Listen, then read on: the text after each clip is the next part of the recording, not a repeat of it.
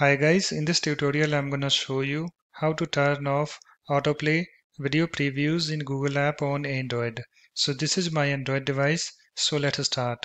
So first of all you have to open your uh, Google app. So let me open mine. So here is my Google folder, let me open this. So here is my Google app, let me tap on this to open it. You can see guys it's opened and after that you have to uh, tap on this three dots, this more link at the bottom right in this bottom menu. So let me tap on this. And then you have to tap on this settings.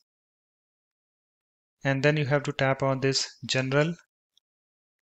And here I have this general, uh, this screen opened. And on this screen you have to scroll down uh, to this option autoplay video previews and guys, if you don't find this option, then you need to update your uh, Google app to the latest version. So just go to the Google Play Store and find the Google app and update your uh, Google app to the latest version. And after that, you can come to this screen and you will find this autoplay video previews. And you can see guys, currently I have this option set that is only on Wi-Fi. So in order to turn off this, you have to tap on this autoplay video previews. Let me tap on this and I have this autoplay video previews. Uh, this pop-up screen opened. And you can see here we have three options.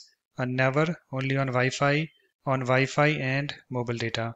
So you have to select this uh, first option that is never. So just tap on this never this option.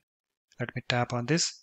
And if I come to this autoplay video previews and you can see it is set to never.